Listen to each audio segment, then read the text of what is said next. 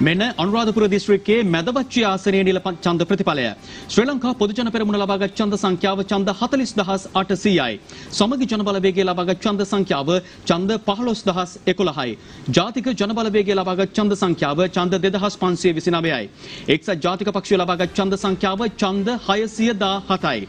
අනුරාධපුර දිස්ත්‍රික්කයේ මැදවච්චිය ආසනයේ නිල ඡන්ද ප්‍රතිඵලයයි දිනපතා අලුත් වීඩියෝ සහ ප්‍රවෘත්ති නැරඹීමට ඉහත බටන එක ක්ලික් කර සියත TV සබස්ක්‍රයිබ් කරන්න.